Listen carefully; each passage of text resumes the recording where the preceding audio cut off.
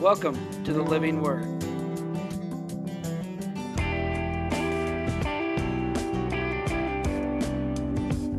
A ministry of Bethel Baptist Church located in Greenfield, Indiana. The message today is brought to you by our pastor, Dr. Randall Parker. Thanks for joining us today. Hope you enjoyed the service that's already in progress. 1 Corinthians in chapter 16. This is Paul's concluding words to the Corinthian church in this, which is actually his second letter. We don't have his first letter, but in 1 Corinthians he refers to a previous writing. Now, in 1 Corinthians 16, we find a verse that I'm going to use today, and I really feel like it's just the perfect springboard verse to preach the last message of this year in anticipation of the new year, anticipation of 2015. Does that sound strange to you when you say it? 2015. That just, you know, it takes to get used to. About July, I'll get used to it and quit writing 2014. I still sometimes, when I'm dating something, I'll say 19. No, it's not 19, it's 2000. Hard to believe we are where we are. Look, if you would please, at verse 9. For a great door and effectual is opened unto me, and there are many adversaries. A great door, an exciting door has been opened unto me, but there are many adversaries. This year, I believe that we could say that this verse is introducing us to the possibilities of this coming year. He, I believe there is a excited opportunity. I believe there is great privilege before us. And I believe that 2015 can be a great open door with great and wonderful opportunities. And I'm going to preach tonight on the opportunities of 2015. But then, after he says there is a effectual door, exciting door opened unto me, but he says, I also realize there are many adversaries. I want to preach this morning on the adversaries of 2015. The door can bring us to wonderful opportunities, or the adversaries can bring us to terrible failure. Much of what we prepare for will bring about what we experience. If you're excited about the open door, God's got wonderful opportunities before you. But if you are ignorant of the adversaries, the enemies, those that would damage the opportunity, you'll accomplish very little this coming year. Now, I want to preach to you this morning. Every person in this room, you got this year coming up. I don't care if you're young or old or whatever you got a new year. 52 weeks from now, we'll be talking about the year past. Now we're talking about the year future. It's a blank check, it's opened. Nothing has uh, uh, transpired yet, nothing's taken place. Do you realize you've not had one bad day of 2015 yet? Hadn't had a bad day. Let's, let's just ask God this morning. Would you think with me, God, I, I want this to be a good year. God, I, I, I want this to be a, a blessed year. I want it to be a successful year. And God, I want to go into this year expecting good and great things to come from you. But God, I also want to understand the adversaries are real. And God, as I deal with the adversaries, it will, it will affect how the opportunities are experienced. My first thought is this we're going to be dealing with the adversary of conformity. Conformity. Listen to me.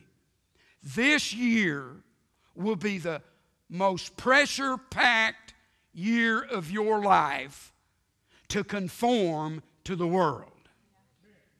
You will never experience a year in your life that the pressure is going to be greater for you to conform to what the flesh wants, what the devil wants, what society wants.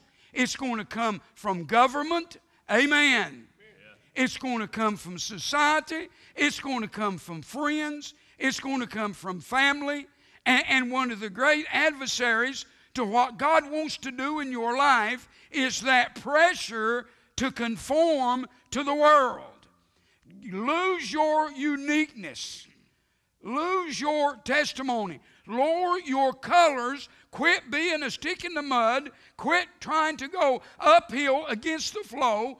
Just get in line with everybody else and be a normal person.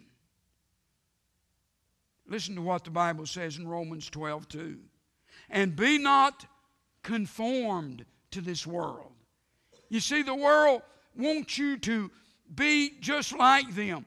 The world wants to take away your, your spiritual identity and take away your Christian testimony. And, and you've never experienced it in all your life like you will this year. Amen. Do you listen to the news also of what's going on in the world and how your Christian faith is being attacked and, and trying to be stifled and smothered? They don't want you to, to have any uh, uh, uh, praise on your lips. They don't. We're still under the issue of saying Merry Christmas or not. Amen. I think we ought to say it all blessed year. Amen and tell people, get used to it. Amen. Get used to it. People come up with the happy holidays, and that wasn't any problem until it became a replacement for Merry Christmas. Amen. Can I tell you this? Your young people in school will face more peer pressure this year than they've ever faced in their life. You wait one of these days, there's going to be a movement to make it illegal for you to pray in public. Because your prayer in public might be offensive to someone. They may not uh, uh, appreciate you uh, uh recognizing a divine authority and the uh, organization of atheists are going to try. You don't have the right to cram your prayer down my throat. Mm, don't that sting me? Who said we're cramming anything down anybody's throat? If you're an idiot and you don't have sense enough to know there's a God in heaven, that's your problem. Amen. Don't come and tell me that, that I've got to, to uh, get in line with your atheistic philosophies and, and, and, and walk on eggs lest I offend somebody that don't believe in my God. Oh, can I tell you something? In a hundred years from today, everybody will believe in my God. But your adversary is going to be conform. Quit, uh, quit being different. Quit, quit making demands and, and just kind of go with the flow. Have you ever had a, a kid look at you and say, Mama, why can't, why can't we just be like everybody else? Why do we have to dress differently? Why do we have to go to church? Why do we have to, why can't we just, all of my friends look at me like I'm some kind of freak. Good. Amen. When a freak thinks you're a freak, that's a good thing. Amen. I'm just saying, folks, the, we're going to have to decide am I just going to roll over? Am I just going to play dead? Am I just going to uh, uh, uh, uh, allow myself to be stripped of my identity and of my Christian heritage and of my Christian faith? He says, hey, listen, don't be conformed to this world, but be ye transformed Amen.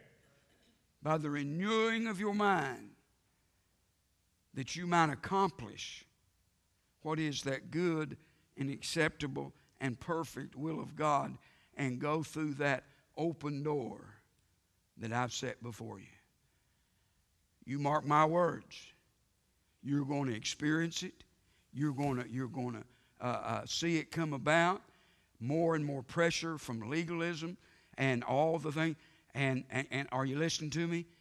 And what's going to make it equally difficult? Most Christians are going to roll over. Most churches are going to roll over and people are going to say, hey, listen, why don't you be like everybody else and take that steeple down? Ain't going to happen. Amen. Why don't you be like everybody else and just uh, have one service a week? Not going to happen. Amen. We don't have to conform. The open door says don't conform, but the adversary says just go with the flow. Families are going to say, why do you, we, we're not praying at the family reunion this year. You say, oh, yeah, we are. Amen. You, you, don't have to, you don't have to listen to, to naysayers. You don't have to listen to uh, uh, uh, uh, hypocrites that, that, that'll tell you, well, I go to church just like you do. No, you don't either. Amen. Be not conformed to the world. The second adversary, the second adversary is the adversary of comfort. Well, preacher, I just, I, you know, I'm getting older. Is there anybody in here that's not getting older? Amen. Uh, Judah is getting older. Do you know what? He's seven times older than he was this time last, last week. We're all getting older. Well, preacher, I just don't feel like fighting it anymore. I just want the comfort of non confrontation.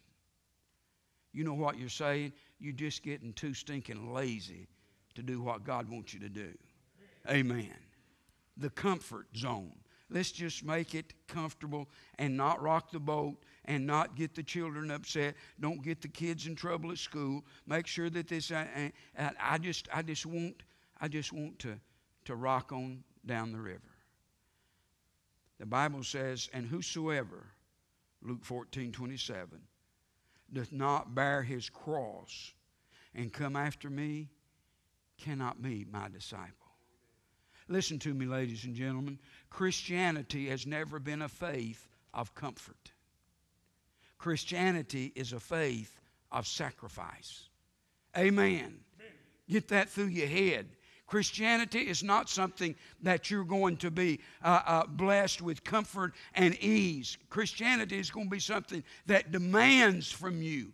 Amen. Are you willing to pick up your cross, be identified with Jesus Christ, and follow Him? He says, if you're unwilling for that, and all you can think about is the comfort and, and, and without controversy, and let's just, let's just let sleeping dogs lie. Can I tell you, this year is going to suck a lot out of you because the demands are going to be coming. Can I just go ahead and make the rest of you mad that's not mad already? About 5 o'clock this afternoon. About 5 o'clock this afternoon, you're going to be tested whether you'd rather obey God or be comfortable. Thank you, preacher. Amen. And listen to me. It would be a wonderful time this afternoon to make a determination. This year is not going to be about comfort, this year's going to be about the cross. This year I'm going to get serious with God, and, and, if it causes issues with the family, so be it. If it causes issues with the government, so be it. it whatever it costs, I'm going to identify with Jesus. And I'd rather bear his cross than to be comfortable. As I said a while ago, it's easy to get to that place. Let somebody else do it. Let somebody else take care of that. Can I tell you? That's an adversary you're going to have to fight. Let's go on. Aren't you glad we're going on? It don't get any easier. The third adversary is the adversary of compromise. Boy, this year, this year, you're going to be approached from every direction in the world to compromise. Listen to what the Bible says 2 Corinthians 6 17. Now, I, I, I want to read this verse, and in all probability, you've not heard this verse in a long time. Listen to this. Brother Tim, we used to preach this. 2 Corinthians 6 17. Wherefore, come out from among them, and be ye separate, saith the Lord, and touch not the unclean thing, and I will receive you. Come ye out from among them, and be ye separate. We used to stand up and preach that. We used to teach our children that. But now it's easier to compromise and just instead of coming out from among them, let's just join in with them. Amen. If you don't have that spirit of separation, that spirit of trying to trying to be different and uh, peculiar for God, you're going to start compromising. This year will be easier than it's ever been in your life to start drawing in the perimeters. Little at a time. Well, preacher, we're living in a different age. Tell me about it. But we're serving the same God. I'm carrying the same Bible. And I'm going to have to face the same Jesus in judgment. Compromise. Well, preacher, I don't uh, feel like I've really compromised. I'm, I'm no closer to the world than I've ever been but are you as close to God as you've ever been? Amen. Amen. This year will be your opportunity to lower the flag and say, well, those things are not really that important. If they were important last year, they're going to be important next year. Amen. Amen. Let me tell you something, dads. Don't compromise on your leadership in your family. Amen. You are the priest of the home. You are the head of the home. Don't compromise that. Stand up and be what God wants you to be. Amen. Get some backbone. Amen. Walmart's got several sizes. And stand up and say, As for me and my house, we will serve the Lord. Amen. We're not going to compromise. Uh, preacher, how could I? Give me, give me a way I can tell if I've compromised. I'm going to give you a way if, if you got a if you got an older family. Now, uh, from Cindy to Ellen's, how many years? No, no, not that many.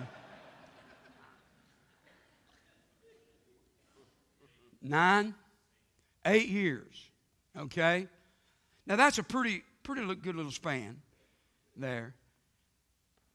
Can I tell you this? Now, Cindy's not here, but Ellen is. The same rules we had for Cindy, eight years later, we had for Ellen. Amen. We didn't change because we got older and it got more comfortable and it was easy to compromise. Let me ask you this. If you want to find out if you've compromised, ask your oldest child if you, if, if you let them behave like you let your youngest child behave. Amen. Well, preacher, when when when this when she was in high school, we made her walk line. But when this one's in high school, what happened to your convictions? Amen. What happened to your convictions? That older child, you made walk the line, and now the younger child, you let them live like the, something off the street, and, and you say, Oh, I've not compromised. This year's going to make it even worse.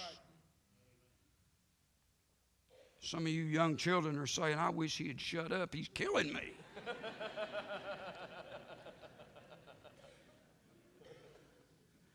I got it made. All I hear is about uh, from my older brother. Boy, when I was your age, we didn't get to do that. Well, now mom and dad's compromised. Amen. It's an ugly word. Compromise is an ugly word, but that is an adversary you're going to face this year. Well, maybe that dress is okay now. No, I didn't let your big brother grow his hair like that, but I guess I'll let you. Man, this ought to be on television. No, I, I, I, used to. We never watched TV shows like that. But now you know. What is it? It's compromise. And where it brought you this far last year, man, if you don't get some integrity and character, God help us where it's going to take us this year. The filth that is on television is absolutely unprecedented. You don't have to watch the programs, just the announcements for the programs.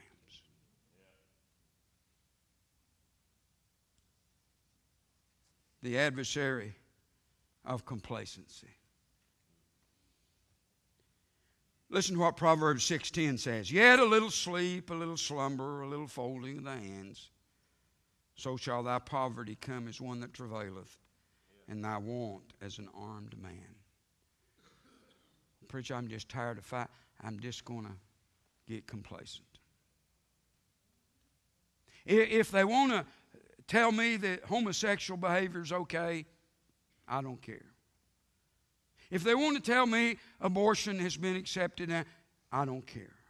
That I don't care. And we get into that mode of complacency. You know what? it wouldn't hurt all of us to get a little bit of indignation inside. Amen. Hatred for sin, not for sinners. Don't you go off and say we ought to hate sinners. No, we love sinners, but we ought to hate the sin that's destroying them. Amen. We, well, we ought to get our dignity back to where stuff that comes on television embarrasses us. Amen. We sit there and listen to commercials that years ago somebody would have took a shotgun and blown that TV up.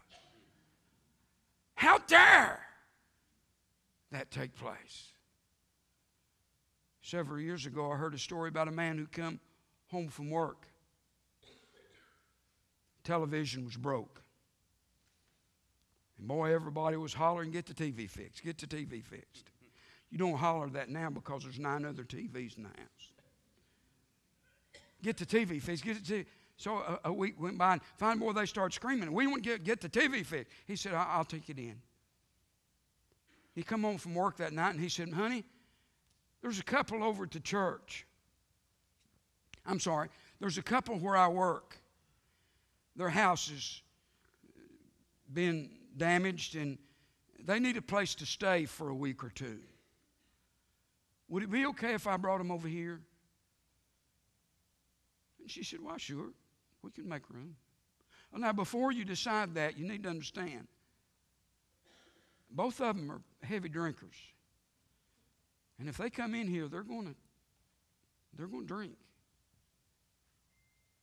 And I've been around them, and they, they're pretty careless about their affections, and they're probably going to sit here on the couch and Lord, it's untelling. And she said, What? And their language is I've heard them talk, and it's just garbage. She said, Why would you? Why would you bring somebody in this home like that that's going to affect our children, going to, going to expose them to we why would you do that? He said, I'm not.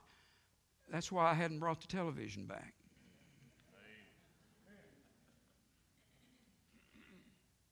If you wouldn't have it done on your couch, don't have it done on the tube. Amen. Do you remember when we used to get up and say, We don't watch that here? Amen. We don't listen to that here. But now, compromise. The last one is the adversary of coldness. Mark 6:36 The multitude's hungry. They've been with the Lord 3 days with nothing to eat. No doubt there's murmuring and complaining and and the disciples are being called on the carpet. When are you going to do something about this? We're hungry. When are you going to? And so the disciples go to the Lord and say, Send them away that they may go into the country round about and into the villages and buy themselves bread. Just send them away. We're living in a world today that you go sit in the mall, you go to a public restaurant, you, do, you go where public people gather, and you just listen it's easy to get the attitude of just let them all go to the devil. Get hard hearted. Preacher, this world we're living in is a cesspool. And whatever happened to them, happens to them, is exactly what they deserve. Well, what would you and I have received if we got what we deserve? But it's going to be easy this year to get cold hearted, hard hearted.